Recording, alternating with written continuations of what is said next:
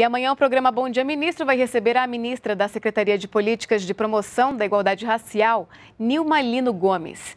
Ela vai falar sobre o dia 13 de maio, historicamente data da abolição da escravidão racial.